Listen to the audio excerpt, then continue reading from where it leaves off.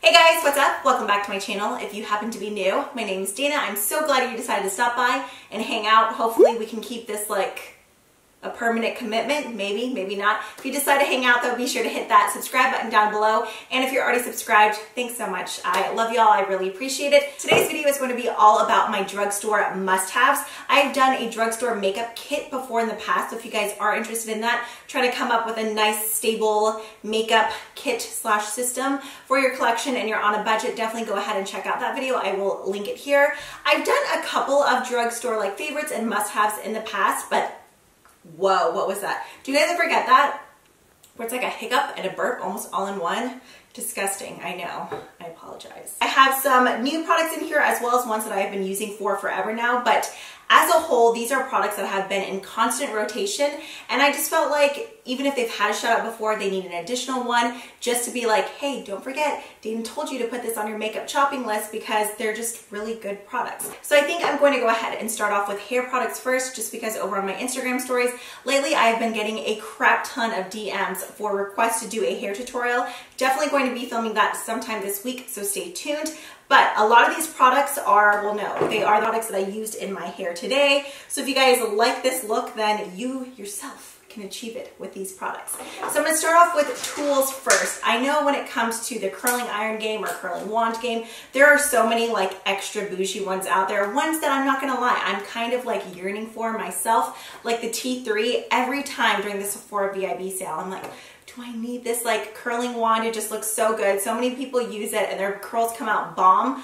But honestly, I feel like if you end up getting the same diameter and your hair is good at holding a curl, you can really achieve the same look with budget-friendly products. So the one that I've used the longest, like the curling iron that I have used since I'm not gonna lie, even up until I think 9th to 10th grade, my mom was curling my hair for me because I could always curl the left side of my head, but for some reason the right side, I would always get it like twisted around or I'd get kinks in my hair. So Mom, if you're watching this, I love you for taking care of my hair. But back in the day and to this present day, I have loved the Conair curling ones. You can find these at Target, Walmart, Ulta. I believe Target and Walmart have them for the cheapest. This is the one inch Conair curling wand and this is probably one of my favorites. I believe this is like $8.99 at Target, and I have had the same one I want to say for like five years now. The other one before that I had for well over like seven years. I am sounding so old right now. But whether you want to use this as a regular curling iron or if you just want to use it as a curling wand, all you have to do is hold the button up and just wrap your hair around. I've used the NuMe wands, the Bellami wands, the, what is it? It's like a guy's name. I can't think of it right now. I've used so many different curling wands, especially when I first started my channel. The amount of offers that I got for curling wands was constant. And for whatever reason, I was like, yes, I want them all. I want to try them all. I do still love them and I still have a lot of them. In fact, I still use my NuMe one often, but if you are on a budget, the Conair one will give you the exact same look. If you are on the hunt for a one inch curling iron or curling wand, under 10 bucks, I mean, you can't beat it with Conair. Another one of my favorites from the drugstore is this Remington I don't even remember the exact name of this. I know it goes from, I believe, an inch to an inch and a half. It's one of these cone-shaped barrels. Since I purchased this one maybe like three, four, possibly even five years ago, they've come out with other ones that are like a pearl finish, the titanium one. You can almost always find this guy under $25. I've seen it at CVS, Walgreens, Ulta, Target, Walmart. This is what I actually curled my hair with today, although ugh, I feel like the humidity kind of played me because right now I'm not exactly loving the look of it, but this overall type of wave I achieved with this curling wand here. Even when I had shorter hair, I love this just because you could concentrate your hair more on the more narrow end or you can bring it down here to the end. My general technique is that I just go in and I wrap my hair and I pretty much always leave anywhere from like an inch to three inches out like of the ends to leave it straight just because I prefer kind of that like undone beachy look but these two are definitely my go-to's. I mean they're from the drugstore they're affordable they're great they've lasted me for ever okay, i do have three more hair products. These are actual styling products.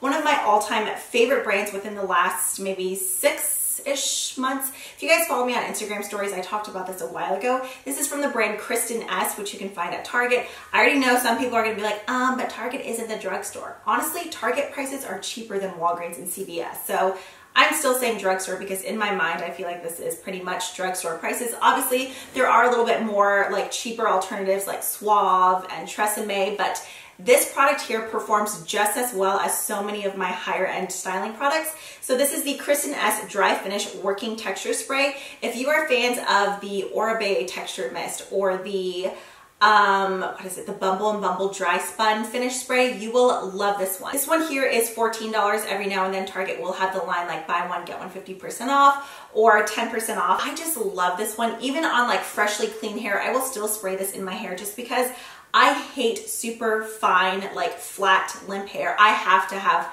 texture in it because I have a big head. So when I have like a big head and straight hair, my head looks bigger. So I just like to have big hair. And this product does it for me. Plus the scent is incredible and it lingers. The dry shampoo is just as good, but the dry finish working texture spray, this stuff is like amazing. And this bottle lasts you forever. I got this a little bit before Christmas and I use it almost every day and it just like, it gives you just extra body in there. See what I mean? So not only do you get body, but it just smells amazing. So that one, the dry shampoo, and then this guy here, if you've been with me for a while, excuse me, I'm getting too excited, I just spit. If you've been with me for a while, then I was like obsessed with the Big Sexy Hair, um, I believe it's called like the powder play. It was the texturizing powder. It's like half this size. I don't, although this could be deceiving, this says you get one ounce. I'm pretty sure you don't get an ounce in the other one. I believe this powder is $10. It does the exact same thing as the powder play. The only thing is if you've never used a powder product before, you do have to be careful. So my favorite way to apply this, you can sprinkle it in your hands if you're a rookie. I would recommend that first, but I will just go in and kind of separate sections of my hair just like this where I'm wanting like a little bit of extra volume and then I will just get this and you'll just go in and like shake it like a salt shaker. Um, so I'll just go in and tap this just like this and then I'll flip my hair back over. You do apply this into dry hair. Great. That's gonna look like I have dandruff. Then I will get my fingers in and just rake it and kind of push it upwards and it just gives you extra body. So if you have really, really fine limp hair, this will be your best friend. You just have to make sure that you don't go crazy with it because sometimes if you use too much, you end up getting the opposite effect because in a way it kind of like mats your hair, but by doing so, it just like holds that volume in there. Okay, so that is all that I have for hair care. I did have a couple of, well, I guess really only two, but one general category of skincare products that I wanted to mention, and those are sheet masks. Now, when it comes to sheet masks, I'm pretty picky just because anytime my mom goes to Korea or if we go to the Korean store, I will pick up a hydrogel sheet mask and nothing beats those. The texture of them are just so much better than these kind of like fabric or, or tissue soaked um, sheet masks. It's almost like having a thin layer of like collagen gelatin on your face. I just feel like the way it absorbs into your skin is unlike any other. I think that, is it Tony Moly?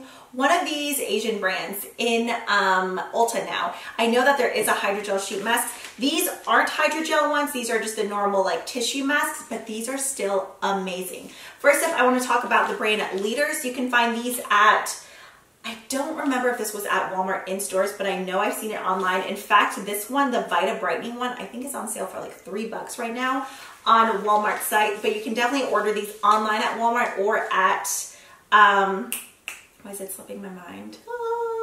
Ulta, sorry. So the Vita Brightening, the Collagen Boosting, and the Aqua Ringer Treatment Masks are my favorite. If you are really, really oily or acne prone, there is a tea tree one that is amazing to kind of like help with oil control. But if you could just feel these packets, the amount of essence in these is insane. It's like an aqua bomb. Feels so good on your skin. So whenever we're just like doing Netflix, that, that sounds so dirty. Not like Netflix and chill, but just regular Netflix. I'll pop one of these on and like 25 to 30 minutes later, I'll pull it off and then I'll just kind of rub it down my neck because you will have so much extra, I guess, essence, right? If you use Korean skincare, you know what I'm talking about. Where you can just like bring it all the way down to your chest. I mean, they are just packed with product these are amazing. Another drugstore one that I do like, but not quite as much as Leaders, but I'm pretty sure that this one is a little bit more affordable than Leaders if you can't find the Leaders ones on sale. These are from Garnier. They're the Garnier Skin Active. I have the Moisture Balm.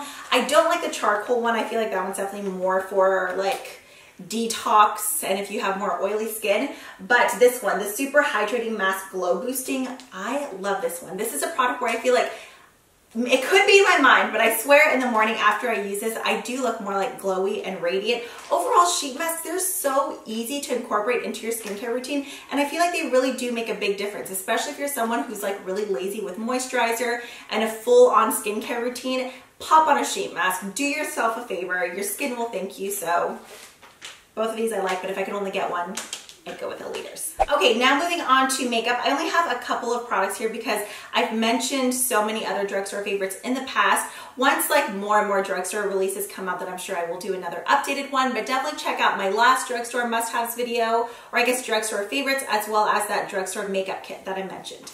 This, however, is a newer find. Clearly, I've been loving them because I only have one pair left, plus these ones. Unfortunately, the other two, I'm like kind of disgusting when it comes to lashes and I just like peel them off and then I forget where I put them.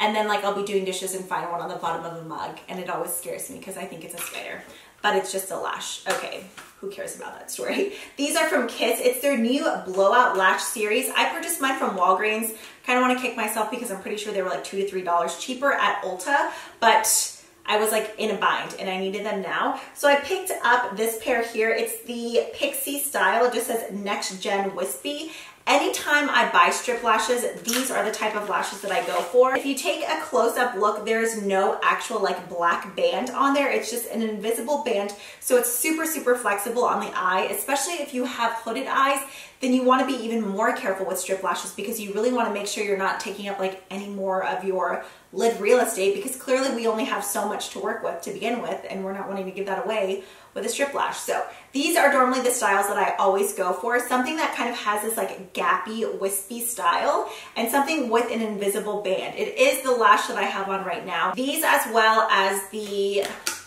Honestly, I would have featured the other ones too if I had a pair left, but I have not been able to find them anywhere. I need to order some online. In fact, I think Ulta's doing a sale right now where they're like half off, but it's the Ardell Studio Effects Demi Wispy style. If you have hooded eyes or like eye shape similar to mine, those are so, so flattering because they kind of start off shorter and then they just gradually get longer and create this kind of like cat eye effect. This is a product I feel like I have not heard anybody talk about. I actually received this one as PR from Catrice Cosmetics. It is the volumizing lip balm and I don't know about you but the packaging is very reminiscent to the um, Dior lip maximizer, volumizer, something like that. It is kind of the same concept but in an actual like solid balm form instead of like the liquid type of balm. It gives you that same like minty tingly effect and it's just super pretty. It's just very, I mean, honestly, it's sheer, but you have the slightest bit of this like nudie pink tint.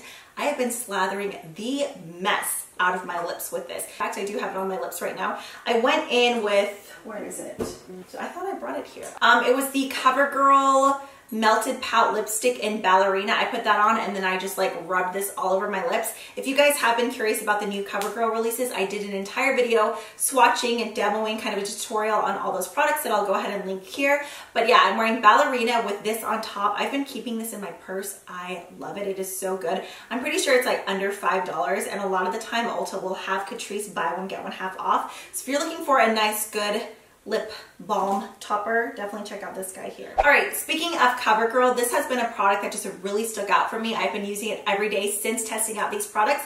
It is the CoverGirl Lid Lockup. It's just an eyeshadow primer. I'll definitely be repurchasing this whenever I finish it. Honestly, I don't feel like there are too many drugstore options when it comes to eyeshadow primers. I know there's like the L'Oreal Crease It or Decrease, and I'm sure like NYX has some now too, but this guy here is so good. It doesn't really add any sort of like pigmentation to your lids, but the tackiness it has is amazing. It's not like sticky to where if you blink, you know, like your eyelids stuck to like your brow bone, but it just really holds onto whatever shadow you're wearing. I mean, honestly, there's not too many other things you can say about eyeshadow primer besides the fact that it does its job and this is one that does its job. So yeah, if you're on the hunt for a eyeshadow primer at the drugstore, definitely check out this one. I really, really think you would like it. This is the Flower Beauty Beauty Sponge. I, or Beauty, yeah, Beauty Sponge, right? Because I mean Beauty Blender, I'm pretty sure it's trademarked. Um, I've been using this more than my Beauty Blender, more than my Real Technique sponge, more than my Eco, oh wait, I don't have the EcoTools one, do I? I don't know, I can't remember, but basically this is the only sponge that I've been using, clearly because mine is dirty. This guy retails for $8 and it, it is amazing. It gets huge. It's kind of shrunk down a little bit. Um, it does get a little bit bigger than this, but the texture is amazing. I love how round the butt is. Then you do have this nice like flat pointed side as well, so you can get right onto your under eyes and blend out your concealer, but it's an amazing sponge and it's eight bucks, maybe eight ninety nine. Either way, it's under $10. It is so, so good. So this is one that I would highly, highly recommend checking out. So yeah, those are my drugstore must-haves. Let me know some of your must-haves down below. Share with the class. Don't be greedy with your favorites because we all like to keep it budget friendly. I mean, don't get me wrong. Obviously, it's fun to have like some splurge-worthy products, but these are just amazing products that won't break the bank. So I hope you guys found this video helpful. If you did, be sure to hit that thumbs up button. I would really appreciate it. And if you did want to check out that CoverGirl video I mentioned, you can go ahead and click right here and check it out. Also, don't forget to subscribe because I mean, we've already hung out for this long. Let's go ahead and go in for that second date. And yeah, as always, thank you guys so much for watching and I will catch you in the next one. Bye.